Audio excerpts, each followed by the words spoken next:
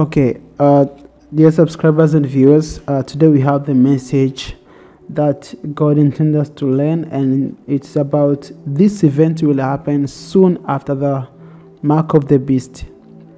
So, this is not about going to heaven, but this event will happen here on earth after the mark of the beast, and we are going to find this event or this.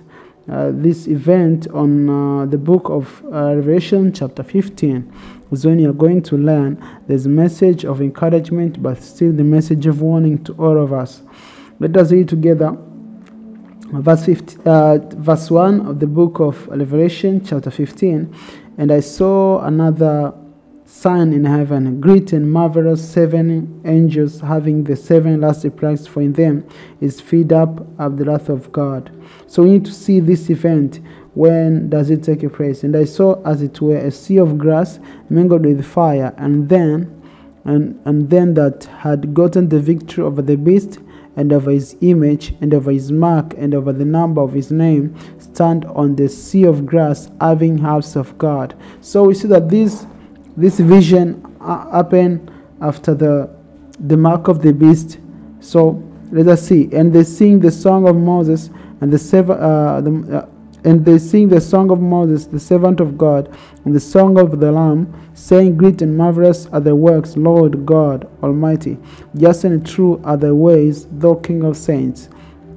The song of Moses and the song of the Lamb, what does this mean? It means these people who come uh, after the issue and great trouble of the word and the mark of the beast and his image. These people they sing two songs. One song, the song of Moses and the song of Lamb. What does it mean? The song of Moses means the song that they sang when they were cross after the cross of the of the of, of the sea, Red Sea. But the book of uh, Exodus chapter 15 is the song of Moses. Then they sang this. Uh, they sang. Then sang Moses and the children of Israel this song unto the Lord and spake, saying, I will sing unto the Lord, for he has trampled gloriously the horse and his rider has he thrown into the sea.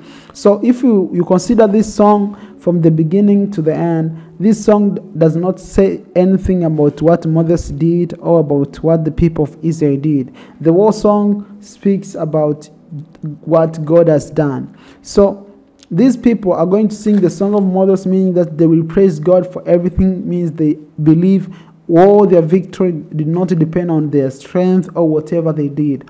The victory depended only 100% from God. So they will praise God for what He has done. And the same to the song of Jesus Christ, because Jesus Christ never lived to glorify himself or do what he intended, but only what came from God. The song of victory, the song of uh, depending upon God 100%, like Jesus Christ. So these people have the righteousness of Jesus Christ and still they have complete surrender to God.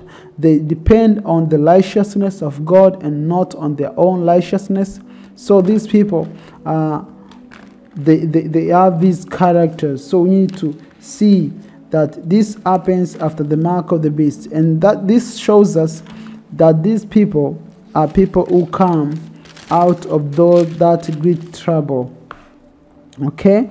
Verse 4 of the book of revelation chapter 15 it says who shall not fear thee o lord and glorify thy name? For, uh, for thou art holy. For all nations shall come and worship before thee, for the judgment are made manifest. And after that I looked and behold the temple of the tabernacle of the testimony in heaven was opened, and the seven angels came out of the temple, having seven plagues, clothed in pure and white linen, and having their breasts gathered with golden uh, girdles. And one of the four beasts gave unto the seven angels seven golden vials full of the wrath of God who lived forever and ever. And the temple was filled with smoke from the God of God and from his power, and no man was able to enter into the temple. These seven plagues of seven angels were fulfilled. What does it mean? The, the, uh, the smoke uh, from the God of God, and nobody was to enter into the temple of God means there will no mercy again. But that moment, the the probation had crossed for everyone in the world. So after the mark of the beast, probation will be crossed. and nothing will happen in a temple. So, no change can be done to human hearts after the cross of a probation. And something is going to happen. These angels had what?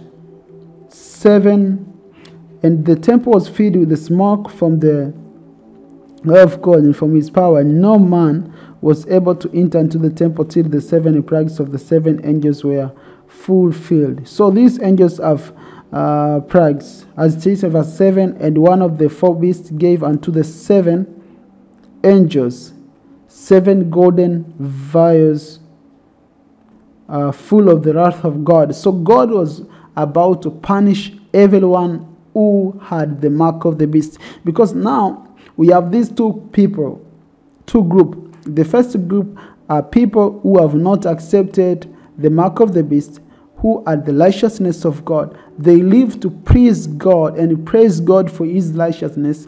Means they depended upon God. They passed this period depending upon God 100%, none of them.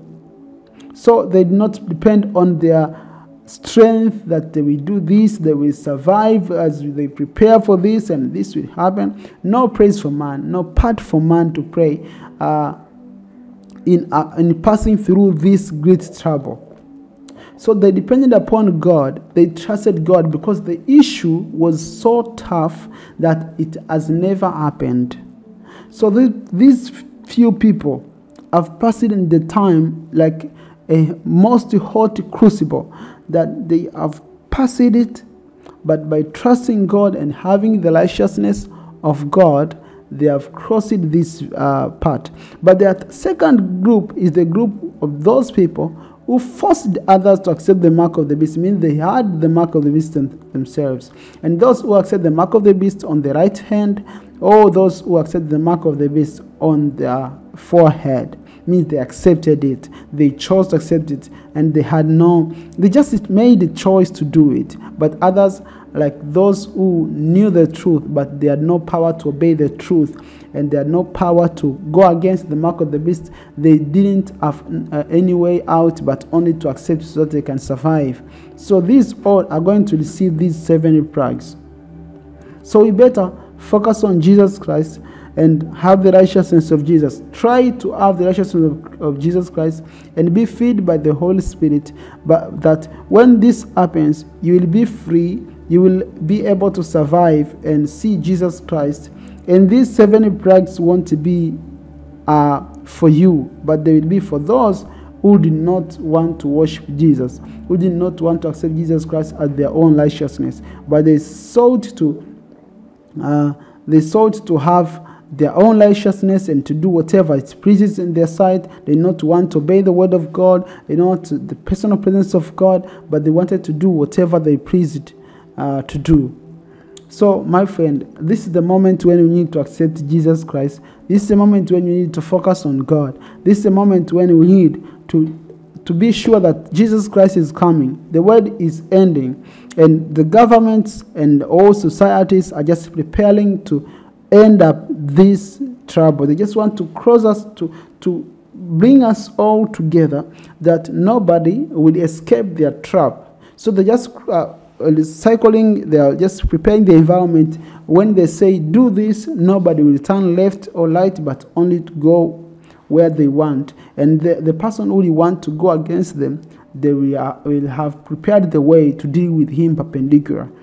So it's a matter of us to to have Jesus in our heart and focus on his righteousness and obeying the word of God, this will help us. Something bad is going to happen soon. And uh, and heavenly bad will see it, and no one will lie. It will be clear that this thing and the word is ending and this thing is which is happening it's the power of the devil is just about to attack the kingdom of god and so those people who are side will be on the side of god they will have to stand on the word and trust god no matter what happens no food no water no clothes no no good life, but they will have to trust God. And with those people who will have been living their life apart from Jesus Christ, they will have to accept the mark of the beast, either they want or not, because no middle ground. So, my friend, it's now the time for us to choose God and to live with Him. May God bless you. I'll take time to watch and share this message to every friend of yours that they may know Jesus Christ. May God bless you. Amen.